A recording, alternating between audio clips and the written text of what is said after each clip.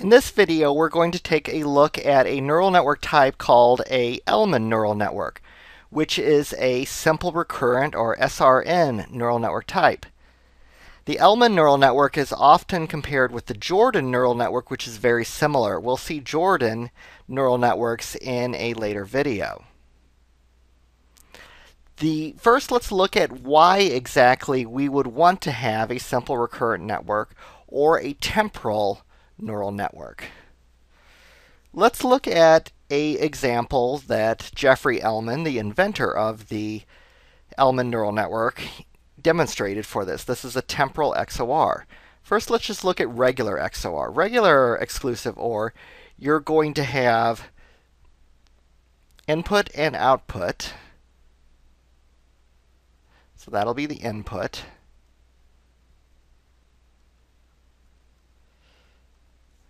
And the output for that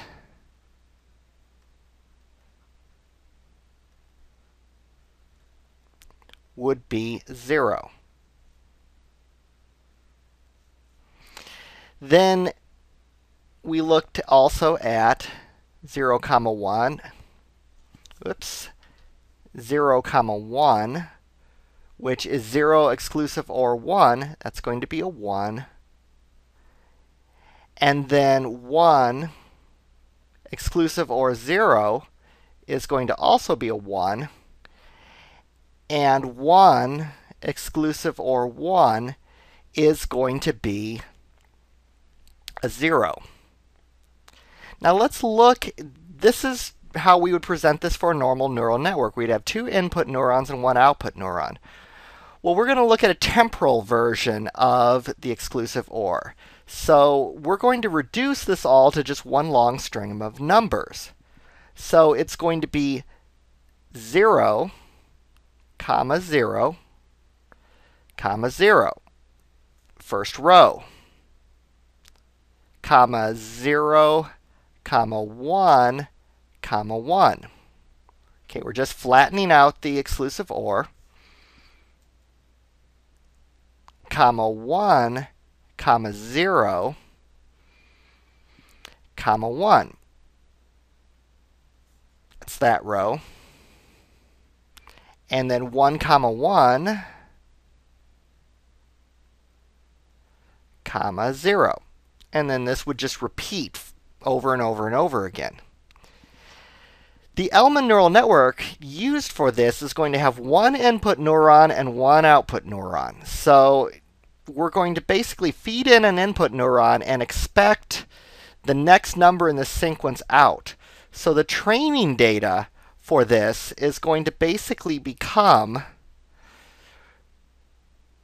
in the first case, we would present a 0, and we would expect a 0 back. So this is the input, and this is the output. So that's the first two. Then we'd also present another 0 and expect a 0 back. Then we look at the next pair. It's also 0, 0. Then we have a 0 and we expect a 1.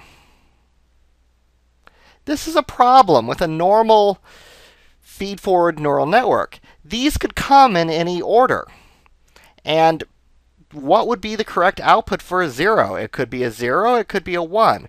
Well, to really know what comes here, whether it's a 1 for the output or a 0, it's all a matter of context. Feed-forward neural networks don't have any context. So a feed-forward neural network could not, this training data, even if I wrote it out the rest of the way, would be useless to a feed-forward neural network because there is a disparity here. Sometimes a zero as the input means a zero. Sometimes the zero means you want to have a one as the next value here. So to train for this type of neural network, we need to create something called an Elman neural network. Jordan would work as well too. The, the two different types work for different neural network or different problems. Let's look at the layers for this. You're going to have an input layer. This is your input layer.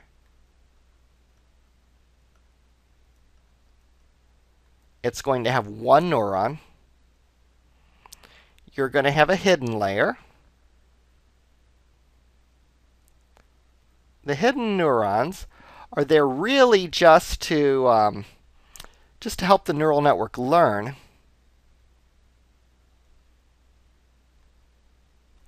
An Elman neural network has just one hidden layer. We'll just arbitrarily say that we're going to have two neurons in the hidden layer for it to help learn. And then we're going to have an output layer. And the output layer is going to have a single neural net single neuron, 1. So this is our input output. We feed in a 0. We're going to expect a 0 back sometimes, a 1 back other times it's going to feed forward just like this. Now normally I draw out the individual neurons, but I want you to see the layers this time, and we'll look at this entire thing represented as the individual neurons in just a second. But so far this is just a feed-forward neural network. You've got the input, hidden, and output. But the trick is you have an additional layer here called a context layer.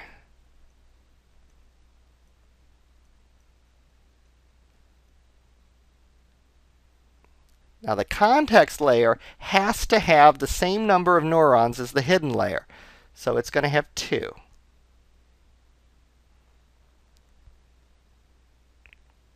And that's the context layer. Now the context layer takes the output from takes its input from the output of the hidden layer. So the hidden layer output is really going to two places. It's going to the output and then it's going to the context. And then the context feeds itself back into the hidden 2 layer. Now this is weighted. There are weights here. This is not weighted. There are no weights here. This the values from the hidden layer just simply feed directly into the context layer.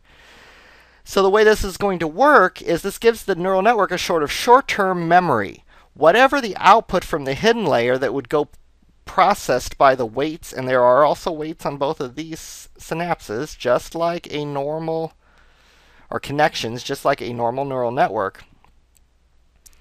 In addition to going to the output, these values get sent here and they're saved.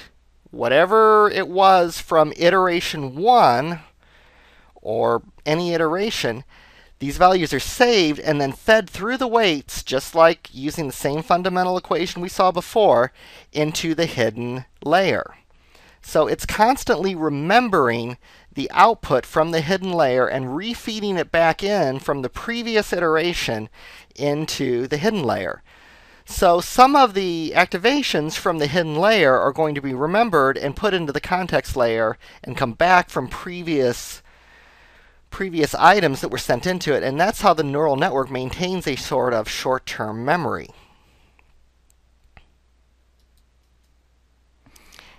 It's also important to note that this non-weighted layer would not have an activation function like the other layers would.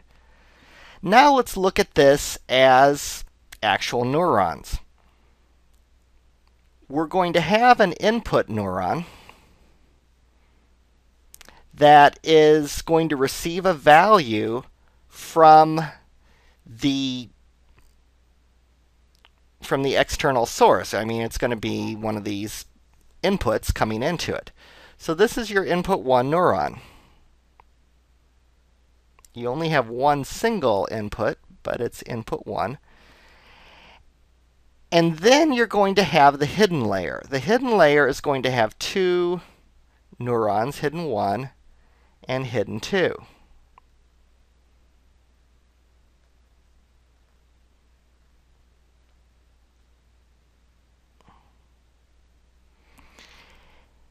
Input 1 is going to, and then we're also going to have a bias neuron. Just like before, bias neurons are important. This is B1.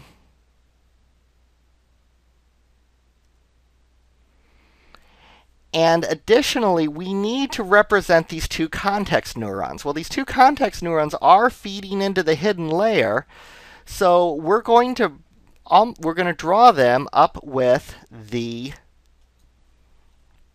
input neuron as well, right next to the bias neuron. Here we're going to have C1 and C2. Those are the two context neurons from the context layer. So you can see we've got a lot of neurons feeding into the two hidden neurons. And then as far as bias neurons are concerned, we have a bias neuron here.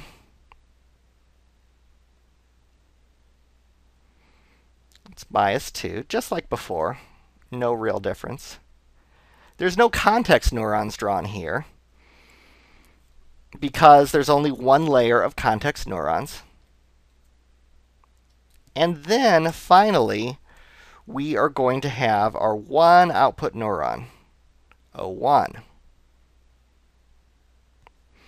Now there's a lot of connections, weights going on here.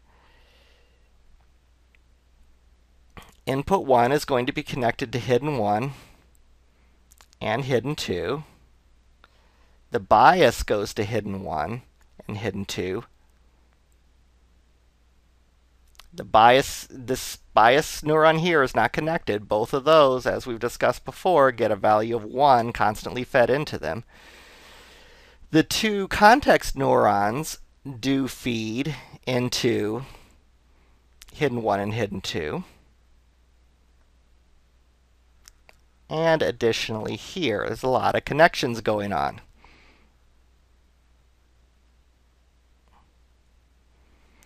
Then the output neuron takes its input from these three. So it's very important. You've got really three types of neurons going on on each level. You have the input, which is the white ones, which are actually receiving input from the previous layer you have the you have the bias neurons, which always receive input of 1, and then you have the two context neurons, and the context neurons are going to be receiving the output from hidden 1 and hidden 2, but from the previous iteration. Iteration minus 1. So if we're on iteration i, these two are going to come from the previous iteration. All the calculations done here are done with that same fundamental formula that I showed you before. You're going to basically take the weights and all of these have weights. Every arrow that I drew here has weights. The only ones that don't have weights are when you copy at the end of the iteration H1 and H2 so that you remember them so that you can feed them into C1 and C2 for the next iteration. Now initially there's zero because on iteration, on the first iteration you don't have any previous values so you would just feed zeros into there.